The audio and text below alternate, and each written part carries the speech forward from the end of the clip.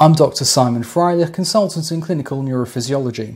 In this video, I'm going to talk about Charcot-Marie-Tooth disease, which is only known as CMT for short. Whilst the name suggests that it is a single disease, in reality it reflects quite a large group of genetic defects which result in a progressive peripheral neuropathy with a number of characteristic clinical expressions.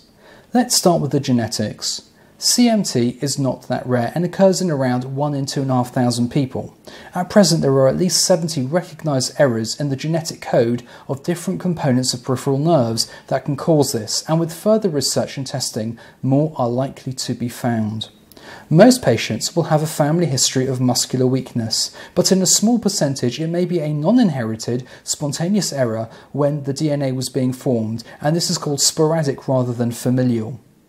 Our genetic DNA code is spread across 46 chromosomes, which are formed into 23 pairs. Each pair of chromosomes contains similar information, with one chromosome in the pair coming from our mother and the other one from our father. 22 of these pairs encode the standard components of the body and are called autosomes. The 23rd pair are known as the sex chromosomes or allosomes, which determine our gender.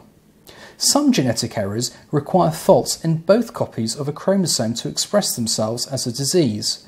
These are called recessive conditions, but some genetic errors can express themselves even with only one chromosome containing a fault, and this is known as a dominant genetic condition. By looking at the characteristic patterns of family disease inheritance, a specialist will try and determine whether the genetics are autosomal dominant, autosomal recessive, or X-linked when related to the 23rd pair.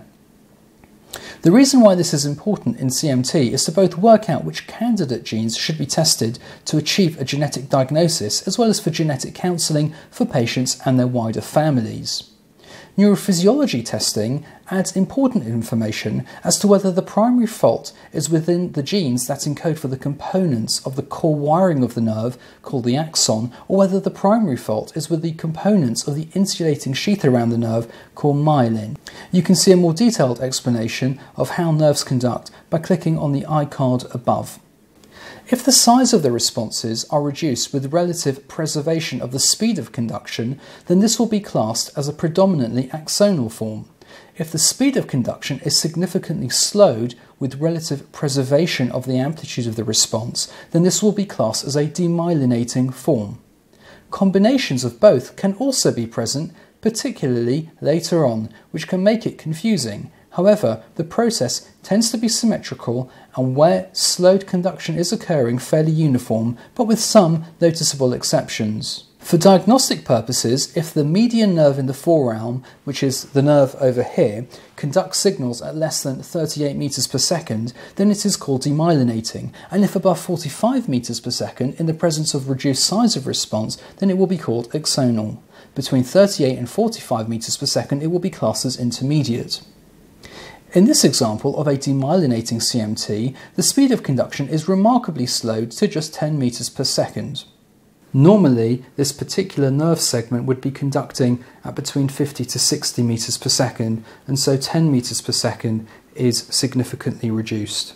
Combining the information between the clinical presentation, family history, and neurophysiology results assists in choosing which genes to test and so reduces delays in final genetic diagnosis and the cost of testing.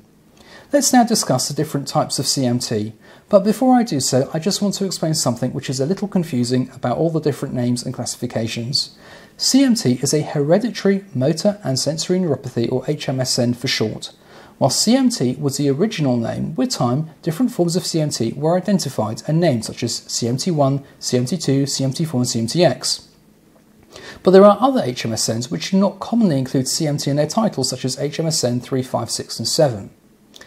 CMT1 is a demyelinating autosomal dominant form and is by far the most common at around 60% except in Japan.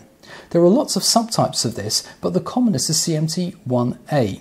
Here there is a duplication error in chromosome 17 of a gene which encodes a protein called PMP22 which forms the myelin sheath. Instead of two copies, there are three copies of this gene, and this leads to a dysfunction of the myelin for reasons as yet not fully understood.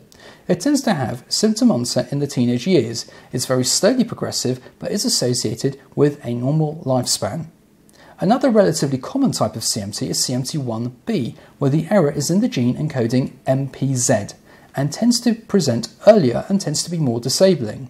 Confusingly, some MPZ mutations can be milder with a later onset and lead to an axonal form under the CMT2 category. CMT2 is an axonal form which tends to present in teenage years and is usually autosomal dominant but rarely can also be autosomal recessive. The extent of disability is very variable depending on the encoding genes. HMSN3 is an infantile form called Dejerine-Sottas syndrome and is now defined as presenting with an age of onset less than 3 years of age with a severe neuropathy and skeletal defects. It was originally identified as an autosomal recessive form but is now also recognized to occur in an autosomal dominant form with mutations that can affect PMP22 and MPZ. CMT type 4 forms are all very rare and are all inherited in an autosomal recessive manner. These tend to be more severe and may be associated with specific features such as cataracts and deafness. HMSN5 is an autosomal dominant form with pyramidal tract features which lead to marked stiffness and paraplegia.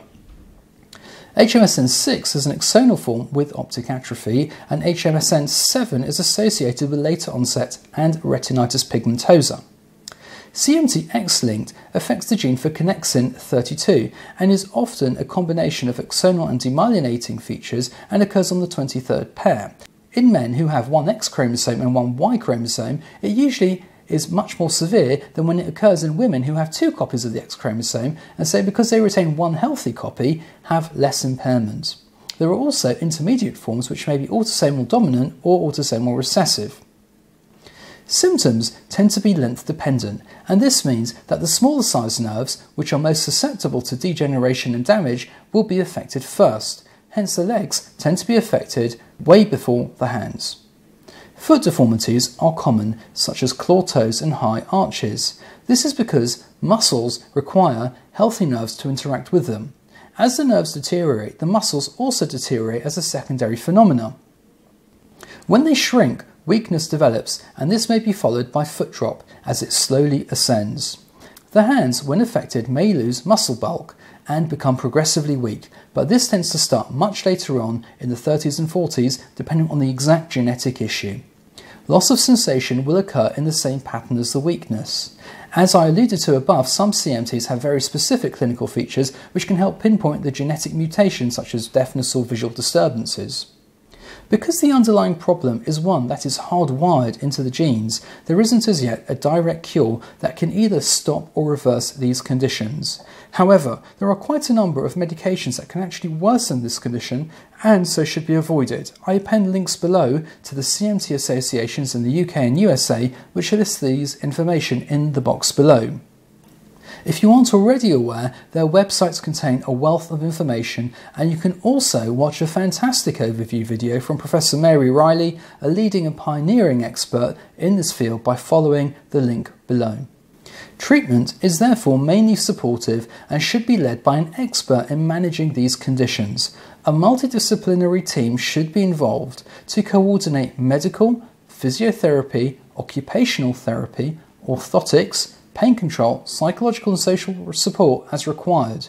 Sometimes orthopaedic surgeons may also need to assist with managing foot deformities and hip dysplasia. Thank you for watching and I hope that you have found this video helpful. If you have, please do support this channel by clicking on the thumbs up and subscribing. It is very much appreciated.